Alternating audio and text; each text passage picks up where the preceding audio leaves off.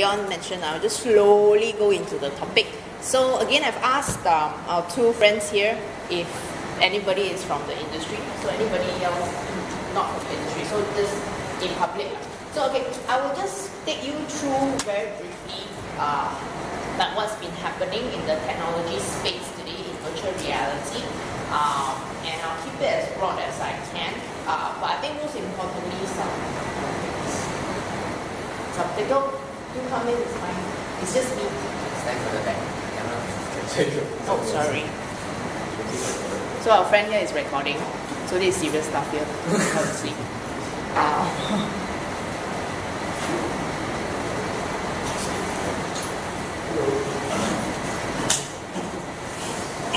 Okay, um, old friends, I need to repeat this because there are like new friends coming in. Anybody from the industry, in films and okay, yourself, uh, you freelance or okay, freelance. in camera department, what department? Photography, Great, great. Okay, so I just wanted to get a sense uh, from everyone here today. So, so because just I just needed to know how deeply I should go into things. So, anyways, again to repeat, I'm I'm gonna keep it as broad as I can. Uh, but I think most most useful I would say is the landscape today in, in VR, VR as virtual reality, and how you can kind of capitalize this technology into applying to the work that you are doing. So be it across the industry, then you can kind of think about it. You know, after this talk, hopefully you you will you know come up with some questions, um, and most importantly is to kind of push the boundaries a little bit in terms of um, what I can do more, um, just leveraging off the current um, landscape of technology today. So, anyways, um, let me quickly go to the other slide. So very very simple. VR or virtual reality is actually you know, think of think of it as you being um, in a place somewhere else, but you're not physically there. So virtual reality is not quite real, but it immerses you into that situation or that place that you are in. So a very good example is um, in uh, tourism, for example. So typically now, virtual rea- reality, you can approach it and you can consume it with what they call a HMD, which is a head-mounted display. You can come in, new friend. Um, so head-mounted display, as I think you have seen it around in exhibition Orchard Road or, or some parts in Singapore. You wear the headgear and you kind of immerse in it. Immerse in it. So how do you do that? Is from the content in your headgear. So if any questions at all, just feel free to interrupt me. So I hope that I'm not going too fast. So virtual reality again, uh, it transports you into somewhere else. Uh, so when you wear the head-mounted display, so if the content is showing you, say for example in Sydney, right?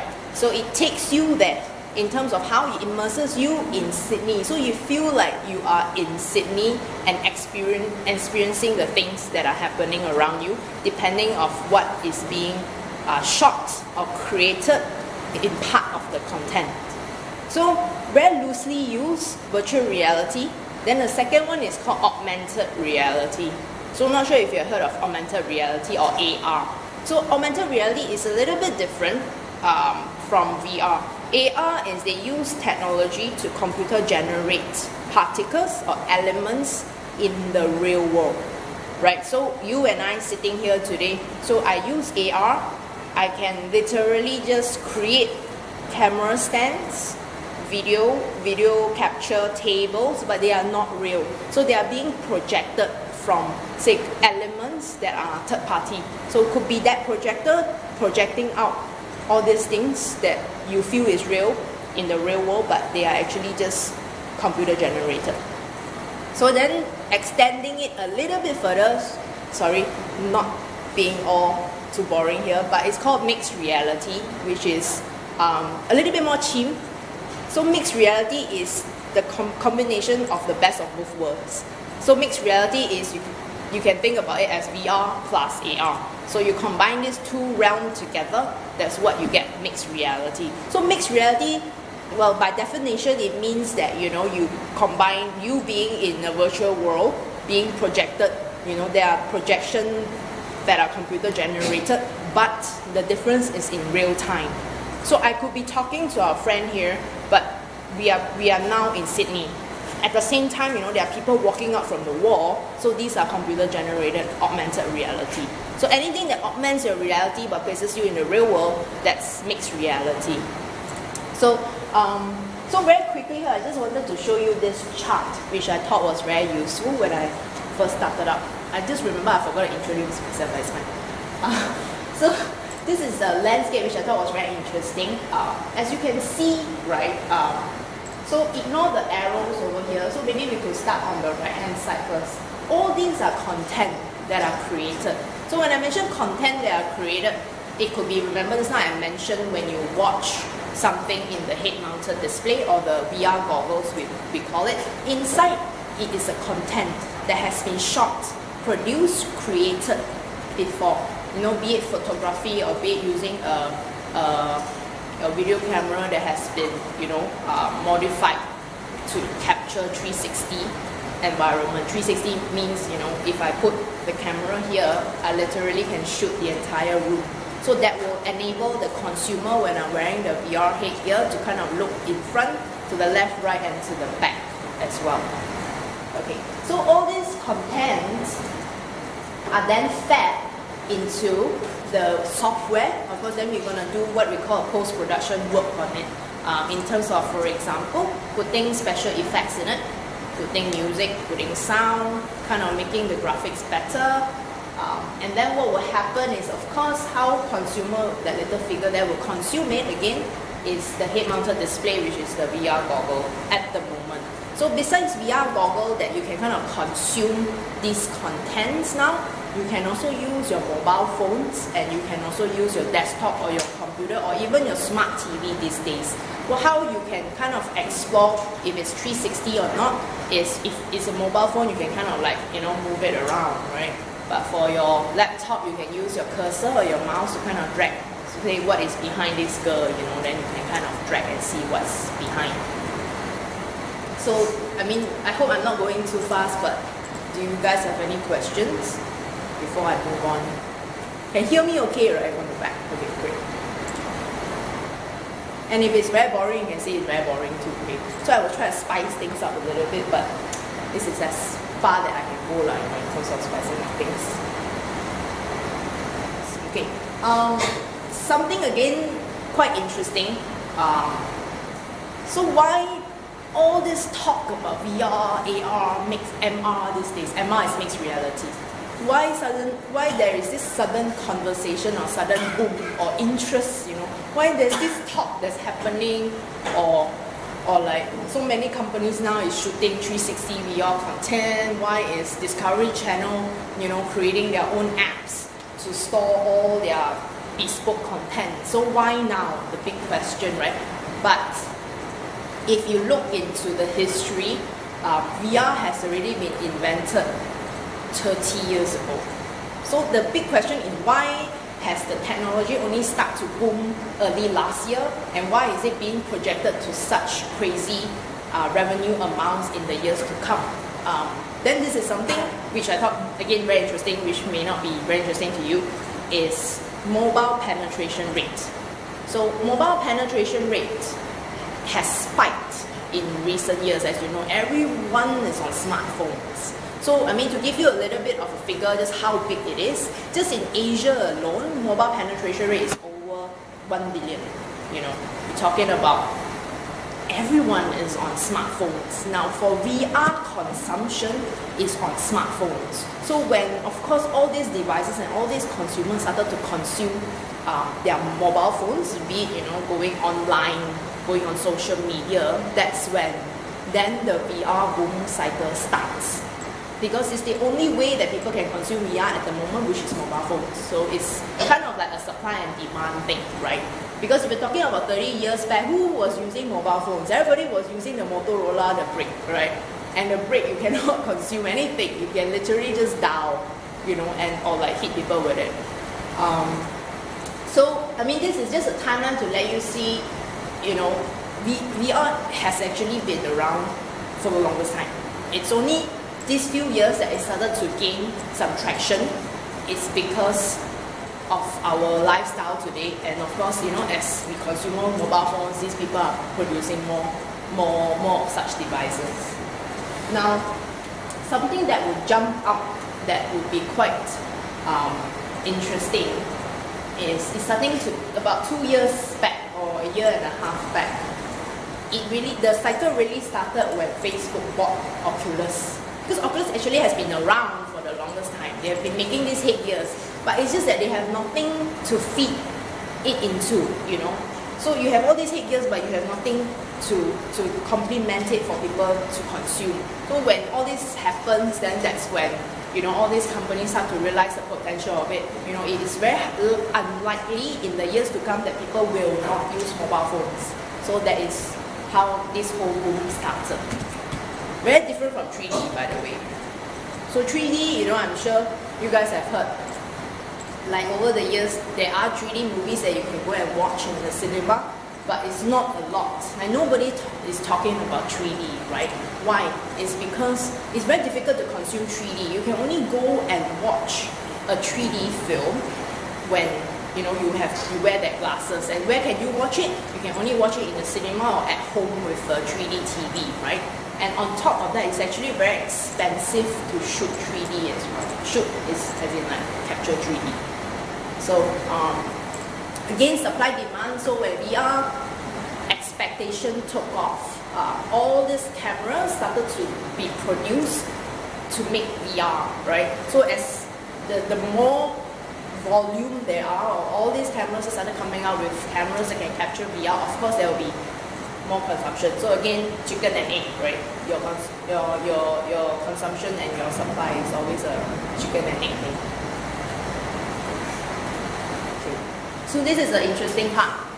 I thought um, that you can kind of hopefully take away how what is VR, what is AR, and what is mixed reality moving forward, and you know kind of apply to the things that you are doing, be it um, when you're working, be it if you're in education now or still studying, you know, because it's actually very highly relevant across industries. So I mean, who is in gaming here? Nobody. Okay. Um, so so anyone fit into any of these industries here? I'm sure Bob will. Or too shy to say. Okay. so anyways, right now there are nine target markets or nine markets that are quite quite famous um, for VR. Like you can, you can, you can literally just see VR being applied in all these nine industries perpetually. So, for example, one of course is gaming, right? So VR enhances the place that we are in now. So it enhances the experience, and of course, the first thing that pops up that becomes very popular um, in terms of VR application is in gaming. So now imagine if you're playing Resident Evil or, or if you're playing Star Wars in the battleship, right? Instead of you as a third party person, you know, playing Xbox or PlayStation, just facing the, the, the TV, you actually can be in the game. You know, it literally means that virtual reality. So it immerses you into a um, augmented environment or augmented reality.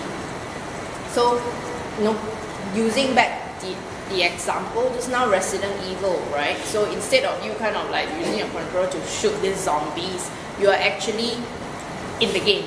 So I'm I'm speaking from experience. So before that, this I mean I love to use this example, right? This person is shooting. So this is a corridor here. I mean, I wouldn't know there's a zombie here, right, when you're playing your Xbox or your, your PlayStation. But literally, when you're walking, the zombie will jump out and you go, wow, right? But right now with VR, because it immerses you in the game, you literally can do this, you know, to see if there is a zombie hiding right behind that pillar. So you are literally being placed in the game. I mean, he's kind of smiling. I think you have tried it before, right? Resident Evil. I mean, I, I personally went to try Resident Evil VR in um, Sony PSVR. So Sony PSVR is just an example of a head-mounted display brand. So Sony also has their own VR goggle now, but it's mainly for gaming. So they are having, sometimes they, they do exhibitions, especially in Wisma Atria, Um, and you know, if you are free and you want to know how that feels like, go, go ahead, go down there, try on the goggle, ask them to play you the Resident Evil game, and you will know um, what, what, I, what I mean about how you are literally in the game? So the second one, sorry, the number is a bit off. But the second one is, is live events. Um, this was quite a boom. Reason being, say for example, Lady Gaga is having a concert in, in New York. Then of course you cannot really fly to New York because it's a bit costly. And also not to mention tickets are always sold out after two hours. So how does all these record labels capture um, this over subscription or over demand of the supply of these tickets, right? So what they do, of course, they would use virtual reality and apply it to this industry or situation. So what they do is now they capture on the fact that they can immerse you or bring you virtually into the concert. They will start maybe to sell you virtual tickets. Okay, so um, maybe for example, they, uh, Lady Gaga is under Universal Music, for example, is a record label that owns the rights of Lady Gaga songs. I mean, this is just an example, right? Maybe Universal Music can create an app where consumers can download the app and start to purchase all these virtual tickets and then be able to watch the concert that's happening real time in New York. So I'm talking maybe now the concert is happening, but I'm able to be there. You know, I'm able to even purchase VIP tickets that, you know, maybe four times or five times more the price if I were to really buy the tickets in person. And, you know, it's being highly promoted now that the experience is almost the same when you wear the headgear and you're being immersed in the concert there. So this is just um, some of the examples for live events. And of course, the biggest, biggest demand now for live events is sports. So sports is like a billion dollar game. Like as you know, right? FIFA, Premier League. Tickets are really, really hard to get. And all these networks around the world are bidding just for the rights to air them on TV. So you know, if you have been reading some news on football, I think last year where it was such a big deal that I think StarHub or, or some network couldn't stream or broadcast live some football matches, and there was this uproar by all the fans. It is actually because it is actually very costly to purchase or buy the rights from these rights owners just to broadcast it to you guys because the tickets are so good, so so profitable for them that they actually limit the, the number of broadcast stations that they will sell or lease the rent the, the, the rights to. So that's just a bit of background, not trying to cite any networks here in case you guys are also part of the, the complaints that why it's not being broadcast live. Um, so then the third one is v-commerce. So anything to do with commerce is of course business, right? Um, v-commerce is actually very interesting as well because you know how how do we profit or capitalize on bringing people virtually into another place and into another experience. So the third industry is such where, for example, um, I own a vineyard that uh, that harvests grapes and to make wine, right? So how do I sell more wine? I cannot. Okay, of course there are marketing budget I can spend on to advertise my vineyard, you know, my wine. But on top of that, now I can actually let people see, although they are not in Australia, for example, they can see my vineyard. They can even taste and smell my my wine, for example. So there are a couple of um, restaurants already in the world, around the world. What they do is before before you buy a wine, for example, if the shop is selling a wine, what they do is they will give you a taste taster, but at the same time you can actually uh, wear the headgear and kind of be immersed into the environment. Say, for example, where all this wine was being produced. You know, at the same time, of course, you're wearing, you're there, and then you kind of smell the wine. It's really as though you are you, you are in the vineyard having wine tasting session, you know. So this is how businesses are capitalizing um, on, on the technology to grow their business. I mean, make more money means you grow your business, right? Because if you have more money, then you can kind of expand and do more things. Um, restaurant F&B is one. Secondly, I saw as well in Plaza Sing, a travel agency that has a couple of headgears lying around. So what they are doing is, of course, travel agency they are selling tour packages, right? But instead of giving you brochures now, you know, trying to uh, trying to um, sell you or trying to convince you for the next 30 minutes in terms of words that I can use to describe the place or the package that you're buying. Instead, now you can just go and wear it and you can see for yourself just how beautiful that place that you're thinking of going. So this is how different businesses are using the technology um, to bring you into a virtual world. So that's the v-commerce over there. Okay, ads and sponsored content, just very simple. Um, so you do watch, there are plenty of uh, TVCs, uh, TV commercials around, be it on TV, be it on social medias, right? Advertisements about Kit Kat, about Oreo, about Coke. So now because these brands, like Coke for example, um, know that there are a lot of talks about 360 VR. So it's almost like a fad right, FAD, where uh, I don't know if you know Cantonese, but I mean we used to say uh, new toilet bowl, right? If you you have if you bought something that is like a novelty, you will keep using it, right? So same thing for VR as well. Everyone is now talking about the VR. So all these brands they don't want to lose out. They also want to jump into the game of VR. So they know that, say for example, you see a VR, you will you will watch it. You will go wow. You start to you know move your phone around when you see a 360 video being played on Facebook. So all these brands like Coke, what they do is they spend more money um, to make advertisement in 360 VR or be even, right? So they are just so that's called ads and sponsored content, basically a content that is being paid for to advertise something. Okay, so uh, the next one, of course, entertainment and movies, TV-like experiences. Um, I mean, if you have time or if you're just a little bit curious, uh, you can go Google uh, this little content, which is only 11 minutes. It's called Help, H-E-L-P. It is shot or produced by Google themselves um, when the technology took off. This is an 11 minute short film that is fully virtual reality. So it is a little bit about, it's like Godzilla, but do take a look at it. Uh, they, we are, I mean, if you ask me, I'm, I'm from a films background, but if you ask me, VR will take entertainment really to the next level. So you're not even talking about going to the theaters next time anymore. You're talking about an immersive theater, right?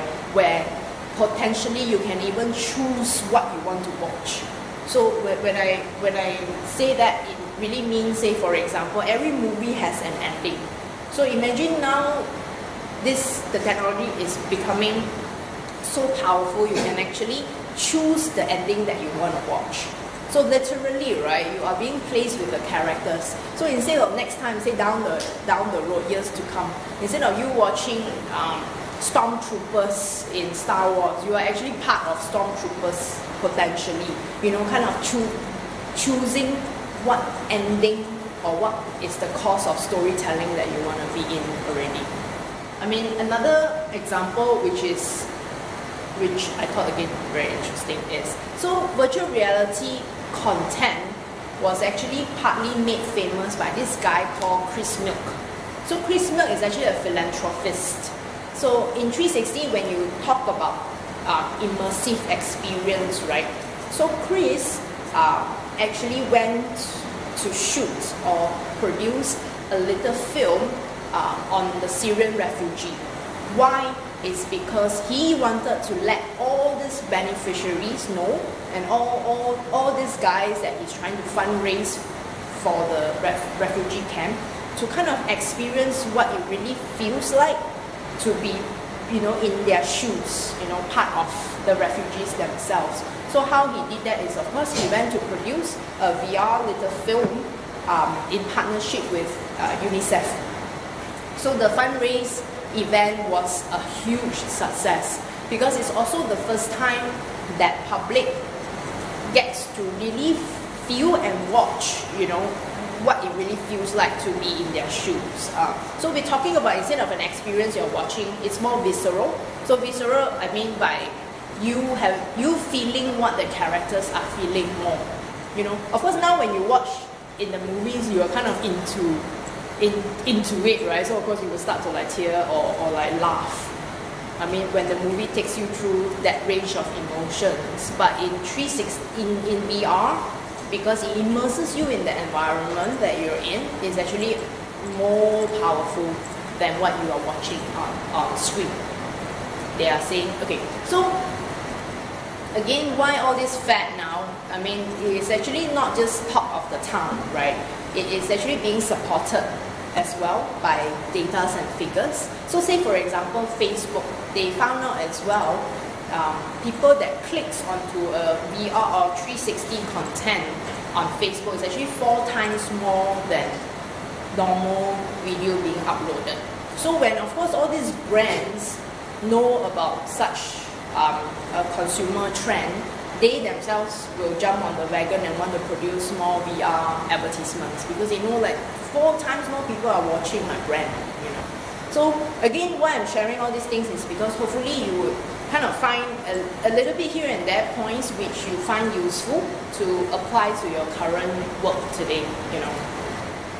So seven is the next point is communication like VR conference calls and meetings.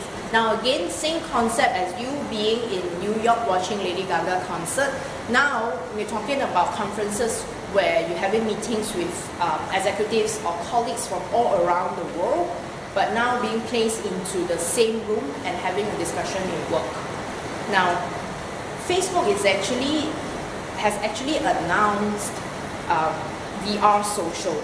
So VR social is I don't know if you watch um, a recent Mark Zuckerberg when he start he roll out this feature is in the years to come he does foresee that if I am in this room here today, you guys and me will be avatars. So it is VR crossing into AR already. And if it's if we're talking about real time happening live, it's actually mixed reality. So all are avatars, all of us are all in different countries, but all of us at the same time is having a meeting in, a, in the same room. So that is the conference call meetings application. I mean the second last one is training and education. Um, very, very relevant in e-commerce here today, especially I mean, in Singapore, it's already happening, especially in the States and China. Simulation for training and education, very simple application. One example, um, if you're an architect, right? Historically, you used to spend hours building models, 3D models, just to present to clients. I do not know how long you spend on, you know, designing the models, how many times you have to go back and, and tweak it based on what clients' feedbacks are but now just from a very simple tweak in your code or your software, you're able to project out your design. And literally, if you use your hand like this, the building start to come up if it's being projected.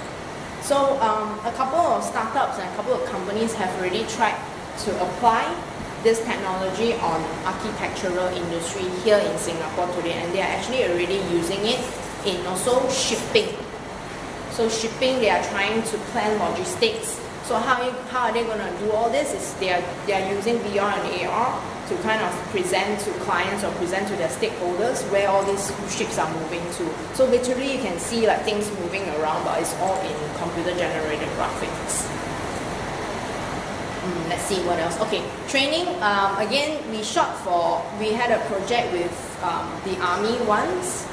So instead of them using live bullets, for example, simulating a training, say, um, in the camp or MMRC, right? What they do now is they are creating VR content for all these soldiers um, and, you know, short of because they can save so much cost and not run that training in such a big scale, they just need to create a virtual environment for all these soldiers and all these trainees to wear and to train.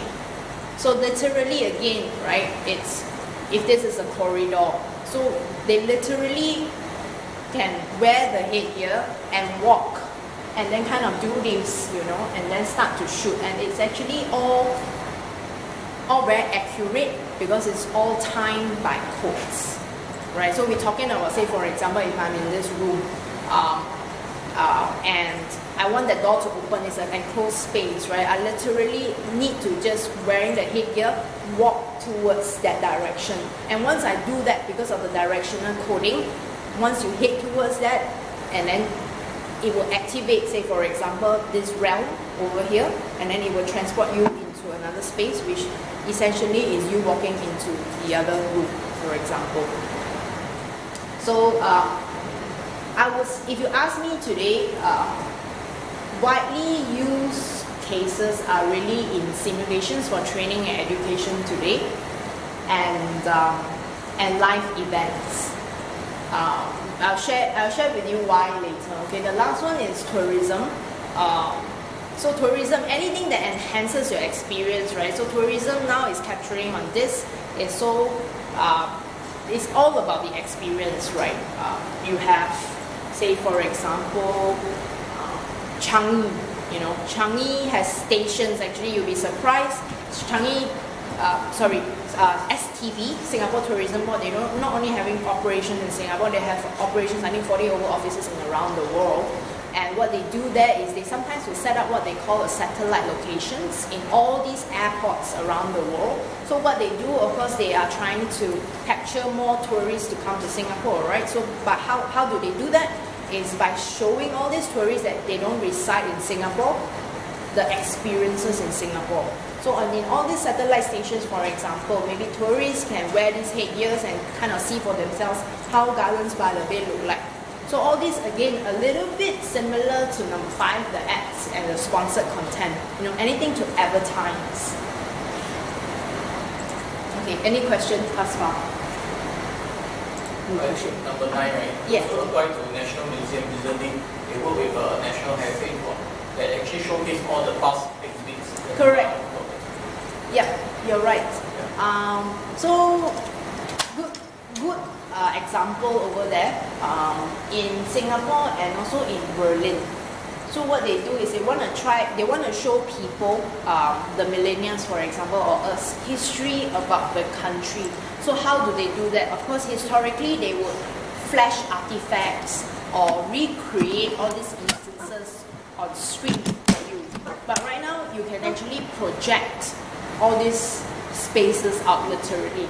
So in, I, I didn't see the one in the National Gallery, but the use cases that the use case that I saw was in Berlin, where literally in the room, buildings, those old buildings were being projected up, You know, where how this, how historically this building came to be made, for example. While it is being constructed, you can literally see, you know, through the projection how it was being built. So this is how you know tourism has been used. Um, used on the technology itself. The technology being used on the industry itself.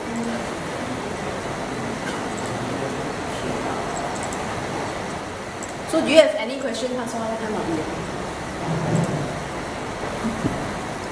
Okay, I, I, I don't want to go too much uh, into the technicals of how do you create such content, but I, I don't know if you are if you are keen to know how it's being shot or how is it being created.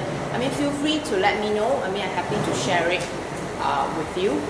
But I mean, hopefully today's session today's sharing is again right to try to to think about how the technology can be used on on your daily on your daily work or even if you don't talk it don't think about it professionally if you have an idea say for example that you think maybe enhance using the technology i mean feel free to throw it out there. Um, i mean to share with you so maybe a bit of a background um, sorry i forgot to introduce myself. So my name is ellie. I'm from BeVRR. So BeVRR is actually a uh, VR, com- VR AR company. Um, historically, we have been producing local feature films to support the, the local industry here.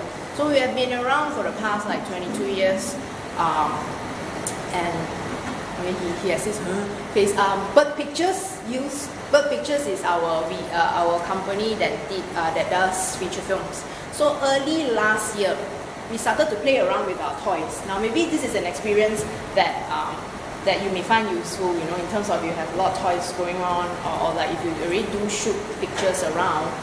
Uh, so early last year, we were playing around with our existing cameras, existing rigs, just out of curiosity.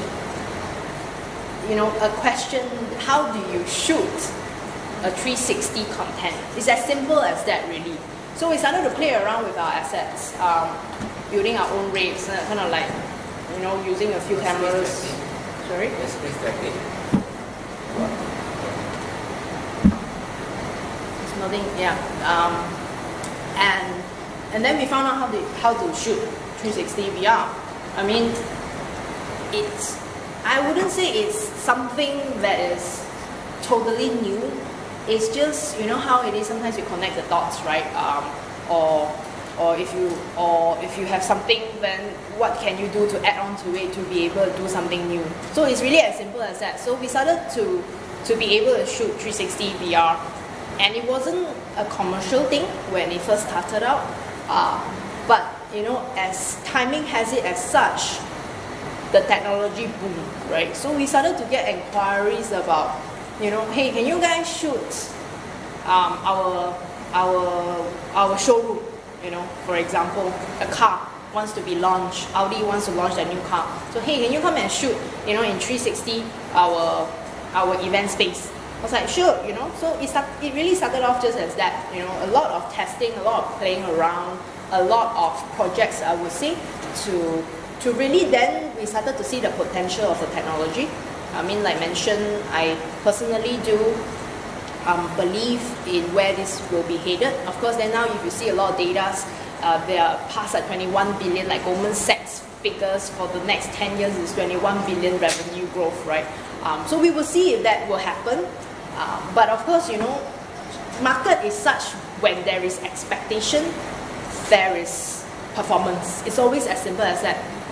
Even in share market, it's all prices are basically consumer expectations. So, I mean, of course, I'm in the business. Of course, I, I, I would say that there is a future or potential in this.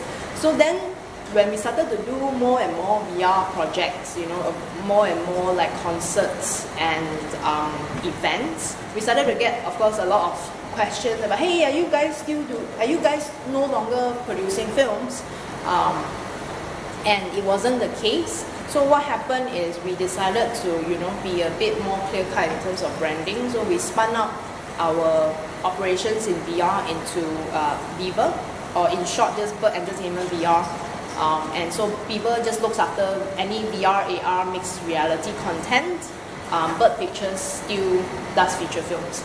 Now, if you ask me, are they both entirely separated? It would be a clear no. It is just a different medium. Fundamentally, if you ask me, as a filmmaker, content is still content. So content is still king. So it doesn't matter if I create the next Beauty and the Beast, for example. These are just mediums that I present to consumers. So back to just now the first chart or first slide that I show you. Content you feed into a system to augment it, you know, based on whatever medium that you want to produce it out to. And then ultimately is to be consumed by the people.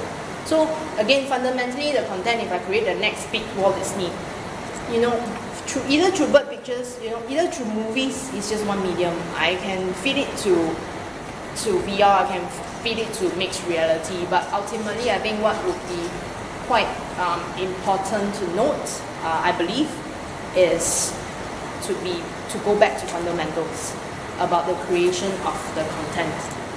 I mean, of course, a lot of people have um, different views about it, right? Maybe they want to develop the next big um, camera, for example, you know, or that can shoot a better VR experience. Or there are also groups that can develop better um, software systems to, to enhance people's experiences.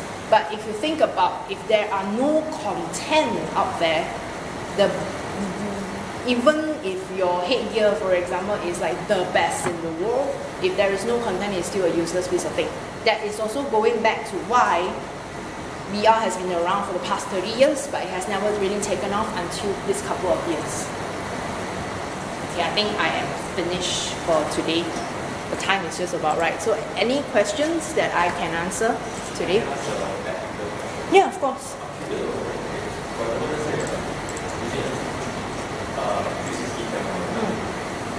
So if let's say you want to shoot something with the magnetic style and then you are the character is moving right? Yep. But when you shoot like this right, then, then the person who's looking at someone will be moving and also moving.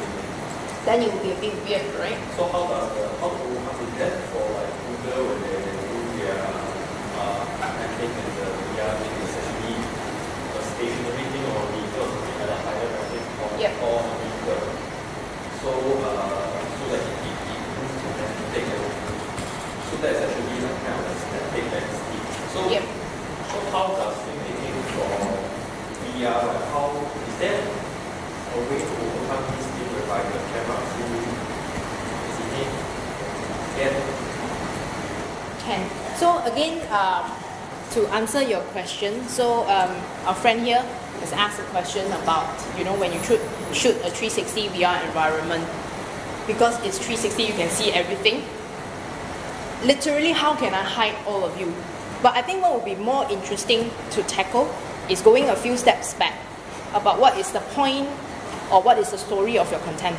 So, say for example, you want to shoot um, a refugee camp, but you want people to be in the shoes of one of the victims. So how do you shoot it?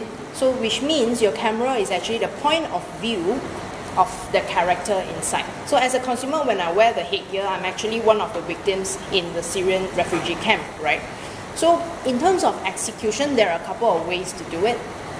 So of course you can rig it on the head. You can, like you mentioned, hold the camera like this. Um, or for example, you can rig it on a vehicle that is remote controlled with sta- stabilizer, for example. Very technical stuff. Bear with me.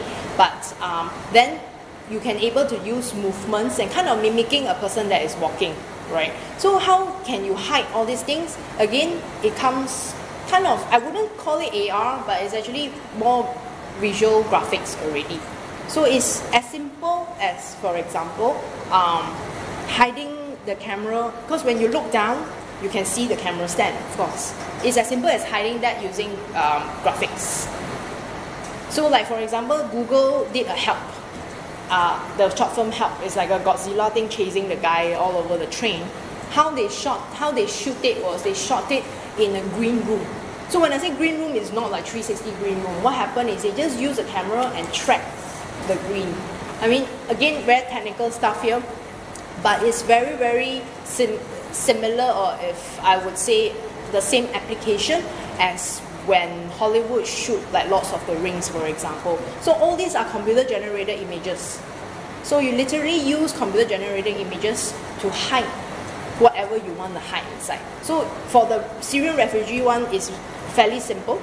Um, you literally do not need to be there at all. So um, depending on how you drive the story, for example, you can rig it on a person and you use computer graphics to hide that person. Or you can leave the camera static there and if you need to watch what's happening, um, you can do it two ways. Um, maybe to share a bit with you about my experiences. I have hidden under tables before. I've hidden behind the trees before. I've hidden anywhere uh, for sh- for to shoot 360, um, and that is way before now technology has advanced into you are able to actually have a wireless monitor now for the director. So now this is able, this this is this is possible now. But if you're talking about like early last year when we started to shoot 360, um, me and the team we have literally just hidden hide in any places that you can think of, like in the ditch or like wherever, just so that you're you're out of camera sight. And it's actually a very difficult thing um, to direct a story. If you think about directing a story in 360 VR medium, it's actually relatively more difficult than directing on normal 2D. So this is just 2D, right? When you see on TV or on the movies.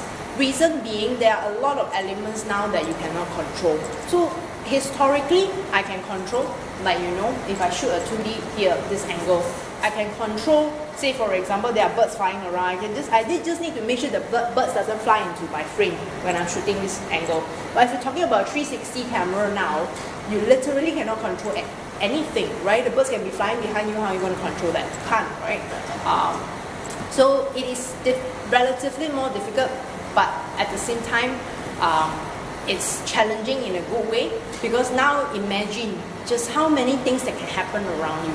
You can you can literally be directing a chase scene here, something can be happening there. So as as a director or as a storyteller, of course, the big question which is which uh, which people will ask is how do you link all this together to create that immersive experience for your consumers?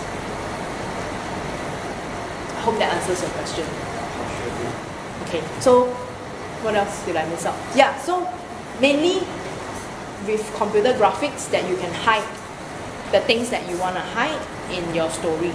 Um, aside from that, is also how you link your stories or how you create your stories, for example. So it's a combination of both. So two things, right, when you shoot a 360 VR story that is good to know. One is you can either be it a point of view of your characters that you build your story around. Secondly, a third party person. So third party person is I'm so you are actually the camera now. So always think about always think about this, right? You you are the camera. So do you want to be part of the characters that the story is building around you, or do you want to be like, for example, the travel buddy of the main character? Because it's all it all will be scripted differently. It all will happen. Actions will happen very differently as well. Any other questions? Feel free to throw it out since I'm here. Um, happy to take you through the process if you want to know. Do you have a question? How would the steps of um, VR uh, different Mm, good question. Um, very common question. Uh, so let's talk about 2D first. So historically, you conceptualize a story, right? You think about what you want to what what you want to tell. So that's the fundamental content that you think about. So secondly, after which, then we will all prepare and go and shoot that story that you have conceptualized. After which, when you shoot, then you will edit. So what we call post-production already. So in post-production process, you cut or rather you edit and piece your stories together or your shots together. And then after which, of course, then you will maybe put special effects on it, um, do audio, compose music, and then you distribute, or rather you, you distribute either on social media or in the theaters, right? So remember, capture, um, post, okay, conceptualize, capture, capture, post-production, distribution. Okay, rule of thumb. For 360 VR, it works a bit differently in the sense that, of course, when you can conceptualize, there are of course going to be conceptualization. Second is uh, you will capture. Now the difference comes in this stage where instead of going to post-production, when you edit and you cut and you put music, you actually stitch your images together. So um, some cameras they auto stitch, but most of the time, honestly, you have to manually stitch yourself. When I say stitch, is for example, historically you are only shooting 2D, right? So now imagine you are shooting the whole room. So you're literally stitching this part, this part up, below, and right, stitching all together into a sphere. It's actually a ball, you know. Um, and there are specific softwares that are able to support editing of all these spheres images. Then after which, again, same process, going through post-production, and then you distribute. So now, now these days, more and more platforms are able to support 360 VR. So in terms of distribution, uh, I think there are no problem. You can upload on YouTube, you can upload on Facebook, and even Twitter, soon to come, will have that feature as well. Hope that answers your question.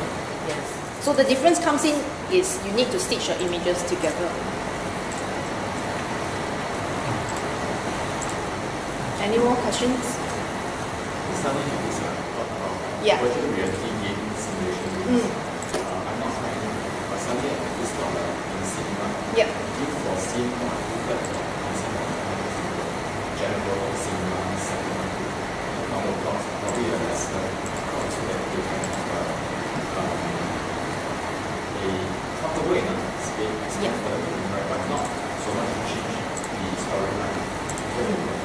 The viewing, right, but not so much to change the storyline. The experience, right? Yes.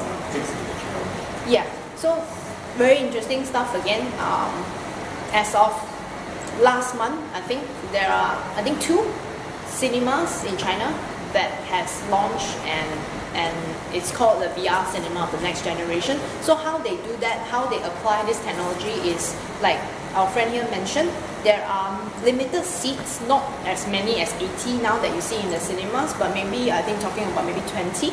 And then they will rig a headset onto the seat. And what is interesting is actually all these seats are a bit um, interactive or movable. So say for example you're watching Game of Thrones and you are being thrown into the lift and the lift kind of like falls into the cliff, right?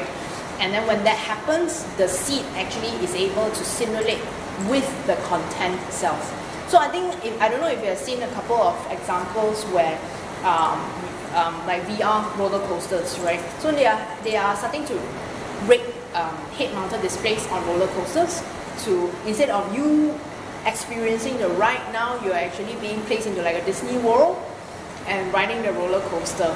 But and it is actually coded in such a way it is um, linked or, or synchronized with the content in your headgear.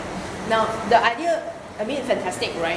If you ask me in terms of cinema next time how this will advance into i mean this is just a personal opinion i feel that until the headgears advance in such a stage where you don't need to wear them purposely just to experience such content i think that is when vr will truly take off because imagine now if you think about if you're wearing glasses just one tap of a button you're able to activate and start to watch vr I mean, this sounds like Minority like Report, right? Um, Minority Report, the futuristic movie, but Google is actually in the process of developing such a thing.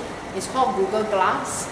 Um, it is now the operation is kind of halted for a bit, but you know Microsoft has jumped in on hollow glasses, um, and even for example the the guys the the company that is developed was helping develop um, windscreen GPS now is trying to experiment see how they can apply that technology towards your glasses. Because essentially it's actually the same thing if you think about it. If next time in the future of course um, next time of course now it's already happening. Uber is already experimenting how to develop cars without drivers driverless cars right they are talking about they are also developing how they can activate your GPS system into your windscreen. So literally one button next time you're able to follow um, wherever is being projected. Actually, if you think about it, it's exact application as if in a 360 environment because you turn left, turn right, wherever go down bumps and stuff is, is a sphere. So how do we lift that technology off your glasses in the future? That would be quite interesting to watch. Hope that answers the question. Or more sharing. You know, if you guys have any ideas that how this technology can be applied to something that has never been done before, I mean, feel free to share. Um, I guess that's where ideas come from. And of course, another big thing that everybody is talking about now is how do we monetize 360 content, right? Because historically, how do we monetize 2D content is such where they will they will sell ad space. They will let um, a brand advertise their website on it or something like that. But on a 360 space, how do you control people?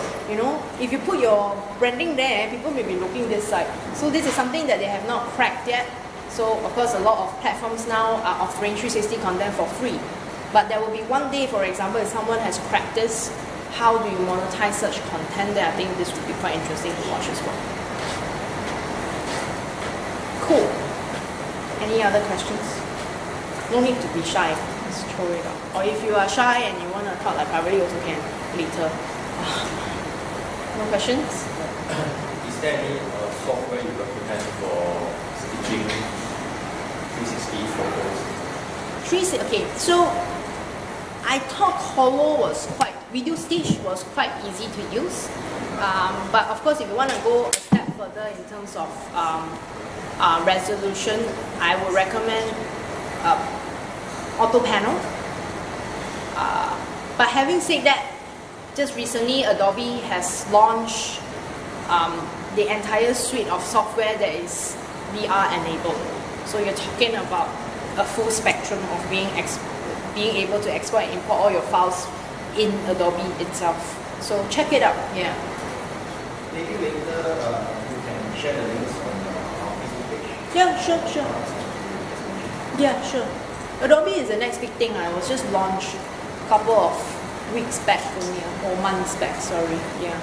So um, another thing to note. I mean, in terms of technical, um, now if you're talking about rendering or being able to to edit 2D last time, now if you're talking about a sphere which is everywhere, of course your CPU speed has to be enough, uh, especially your video video card, video graphics card has to be high enough to be able to render so many realms and so that it doesn't crash your computer as well.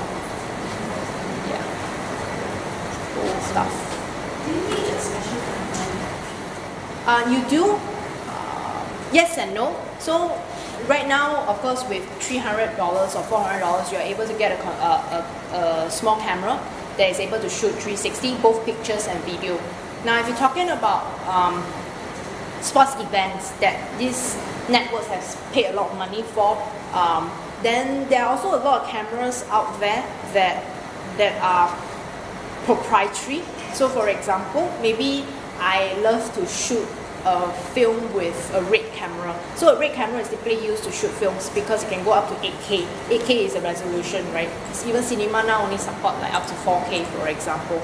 So, how these people has been kind of experimenting how to shoot with RED cameras is they they build a rig themselves to be to line up these cameras like this. So depending on how many cameras you want to tile, you can tile from three to all the way to eight cameras, depending on on your rig. You can just build the rig and you know kind of experiment with with that. So yes and no. You can literally go out to Samsung and buy they call the Samsung 360 ball. Um, or of course, if you are shooting uh, professional films in VR for, for clients, then I would say are those more high-tech cameras out there. So who are some of your clients that you work with? Um, for 360, Like or anything on this matter. okay, so for VR now again, very widely applied in, in simulations training and education. So a lot of government projects that we are doing for for soldier simulation, for even Sing Power, for example. Now for brands, it's you know like the brands, the usual WPPs. Um, we recently, I mean, we did NDP last year, um, and we're doing SEA Games coming up, where again similar concepts to the live events. SEA Games, how can people watch SEA Games if they are not in Malaysia this year, for example? So what we're doing is we are live streaming in 360. So people can, if they want to choose to watch SEA Games at home, they can now live real time. Yeah, so that's just um, one of the applications. I mean, if you ask me what is more fun, I would say is uh, stories that you create, conceptualize, and how do you create um, story-based advertisements. I think that is more interesting. I mean, this is a personal thing, right? But of course, some people prefer just to live stream um, 360 VR because it's a lot easier, if you ask me. Um, you the process is also a lot easier for live streaming. Very technical stuff.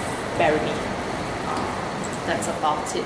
But yeah, feel free to think about um, how it can be used, on what, um, how can, I don't know, any pain points you're having, and maybe you could think about how if I can use this technology, would it make my life easier?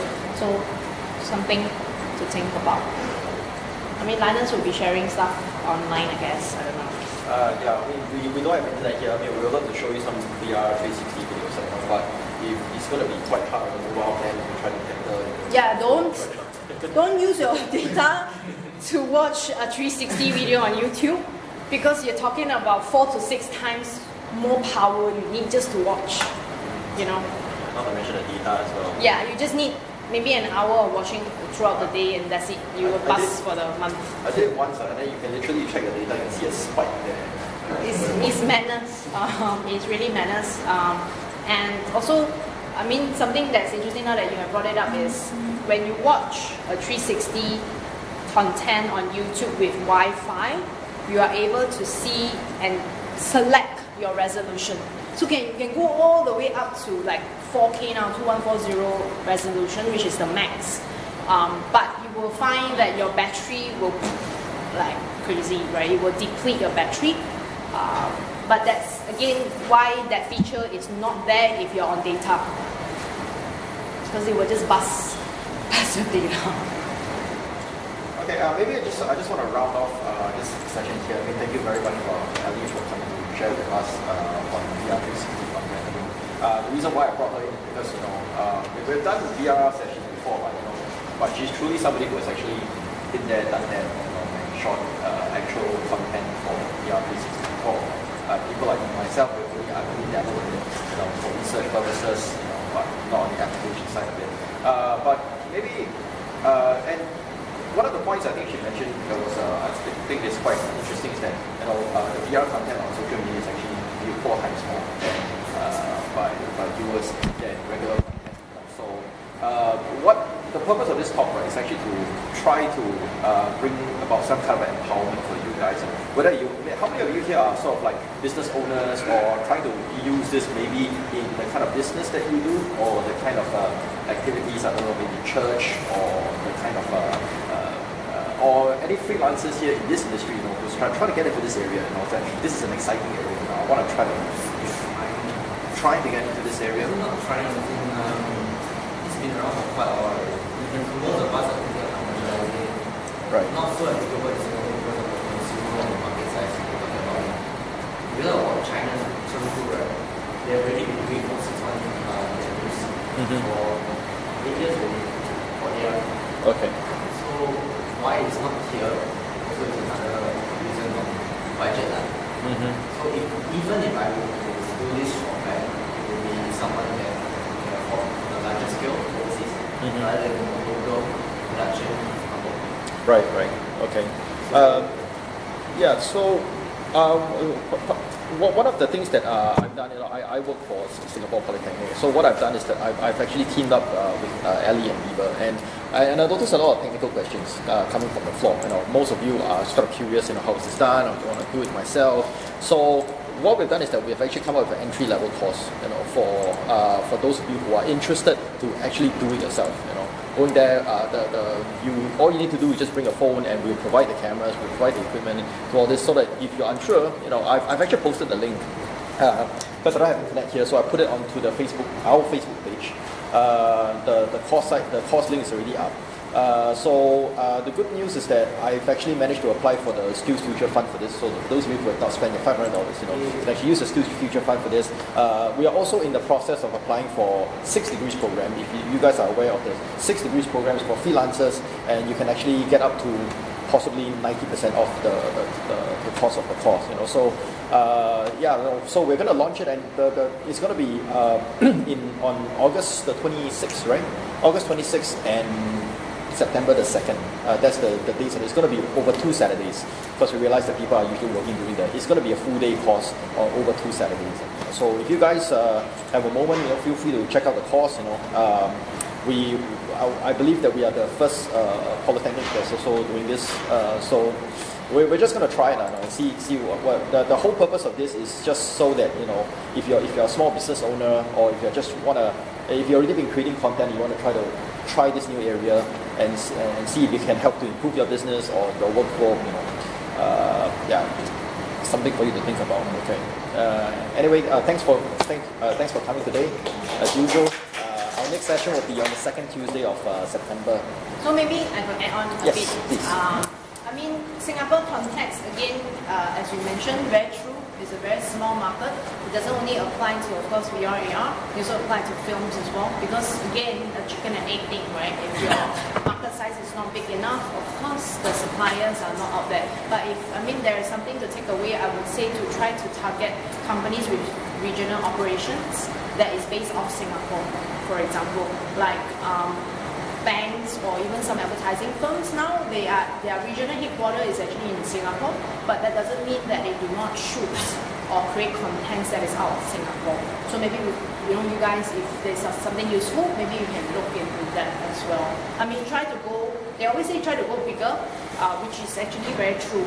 I mean, try not to create content that is only uh, able to be consumed by local market. You know, try not to to to um, to create uh, like Hokkien stuff, for example, because it's only for local market, right? Of course, if you want to um, grow the local industry or support the local industry, by all means, because we've been doing that for years, creating local content. But it's actually um, what is different. It's a different thing that we are doing actually, right? So, I mean, if you're looking to commercialize your businesses or your work, I mean, something that you can think about target elsewhere. But there's always a regional headquarters in Singapore. Okay, that's all. I mean, feel free to ask questions or drop me a Facebook message or whatever.